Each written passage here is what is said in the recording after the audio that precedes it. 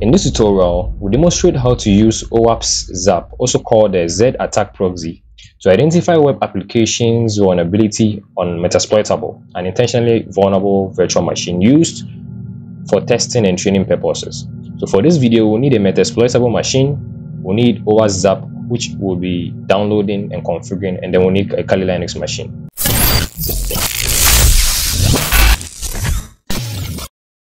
So let's first of all I already have my Metasploitable machine here. So let's go ahead and download the OWASP ZAP. So to do this, simply go to the website of the OWASP ZAP.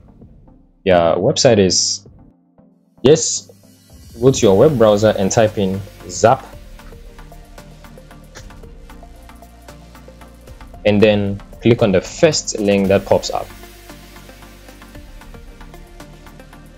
Now we're going to go ahead and go to download now.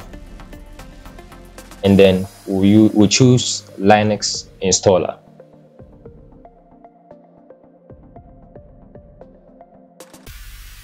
It's 200 megabytes so it's going to take some few minutes to get finished. So once it get finished we're going to go ahead and install it.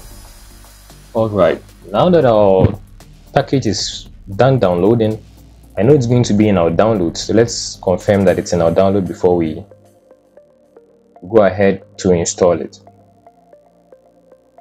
So yes, you can see it's in our download. So I'm going to go ahead and close this, and I'll go ahead and close this as well. And then we would open a new terminal. For this terminal, we are going to open as root if you are on your if you're on root just type in su and you'll be switched to roots so i'm going to type in my password and then i'll be opening as root now that i'm um, in roots i'm going to go to my download folder. So i'll go to cd downloads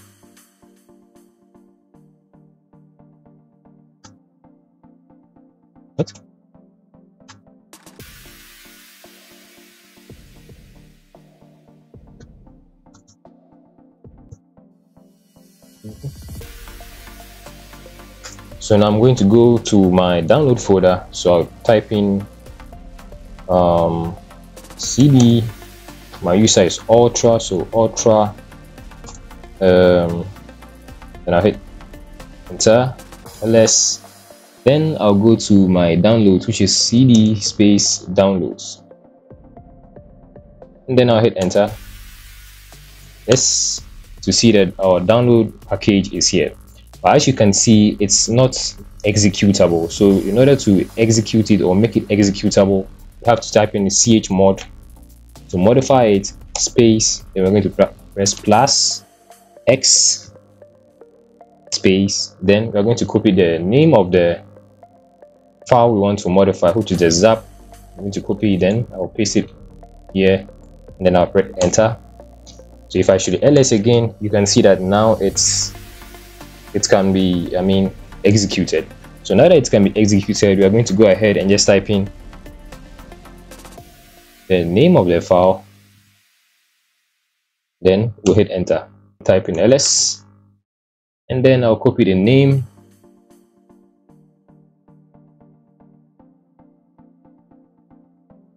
I'll paste it here. And before you start you have to put in a, a full stop followed by a forward slash and then you execute it. So it's going to go ahead and start the installer. So you can just the rest of the processes are just straightforward which you could just go ahead and install. So i'm going to go ahead and hit next accept the agreement yes and then hit next. I'm going to leave the leave it as standard installation then I'll go ahead and hit next install.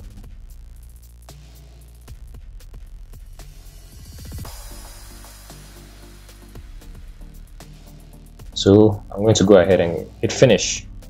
Now that uh, we have our Metasploitable so we are done installing OWASP you go ahead to your menu here and then you type in zap you would see that it's here. So if i click on zap if i did click on it ah yeah. It's going to go ahead and load some few more services. Let's give it a minute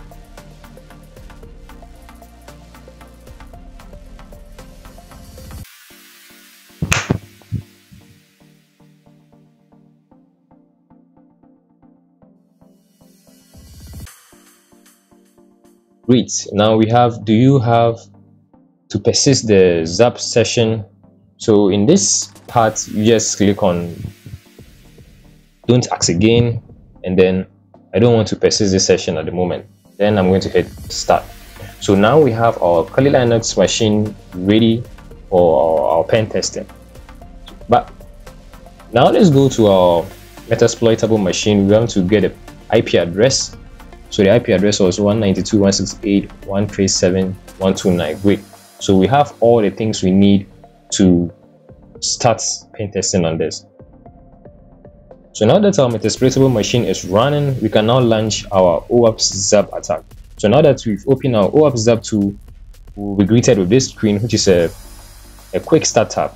So simply click on, okay, simply click on automated scan, and then for the URL to attack, you paste in the you paste in the IP address of the machine we want to scan, which is our IPM, which is our metasploitable machine, which was 192, uh, which was 192.168.137.129. So that's now that it's it's done, you can go ahead and click attack. So OWASP will start by spidering targets to discover all accessible links and pages. This process involves scrolling through the web application to map out its, let me say, structure.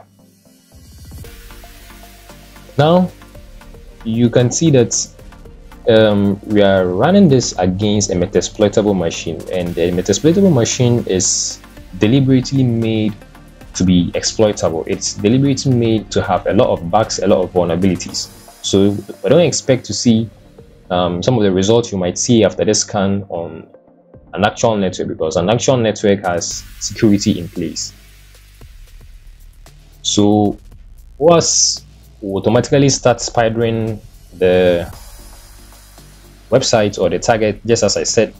However, aside um, spidering, once the spidering is done, it's going to automatically also start scanning for vulnerabilities. So the tool will perform various tasks such as SQL injection, um, cross-site scripting, also called XSS, and other web application vulnerabilities. So let's give it a second for it to complete, and then we'll come again to um, review the results.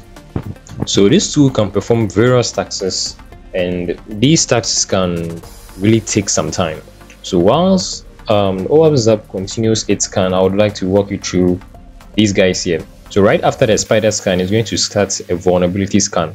And as it scans, it's going to separate the vulnerabilities into high, um, into high, median, and low. So I think we have one alert here which says that, which suggests that it's high. So let's go and check what we have over there. So at the alerts tab, click on this drop down menu, you see the type of alert we have. So the first one search vulnerability and the confidence level is medium. So what this does is that it says that it goes ahead to describe what this type of vulnerability is. And it's a it's it says that it's a path traversal attack technique allows allows an attacker access to files, directories, and commands that potentially reside outside the web document to root etc blah blah blah blah blah. So it goes ahead to describe what vulnerability this has. Now let's go ahead again and see the next one. So this one is also another vulnerability which is also tagged as high and their confidence is median. And then it goes ahead to explain the description of this type of vulnerability. So that's how you do a scan using OWASP Zap for your pen testing again if we had other scans that suggest that we had some low or medium vulnerabilities it would have been displayed and the process is going to be the same so that's how it is in using OWASP for vulnerability analysis.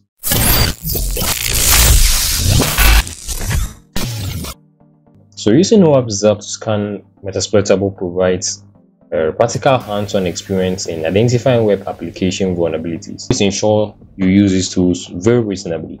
This tutorial is intended for educational purposes only and scanning unauthorized systems can lead to some serious problems. Anyways, that's it for today. See you in the next tutorial. Don't forget to subscribe and keep learning.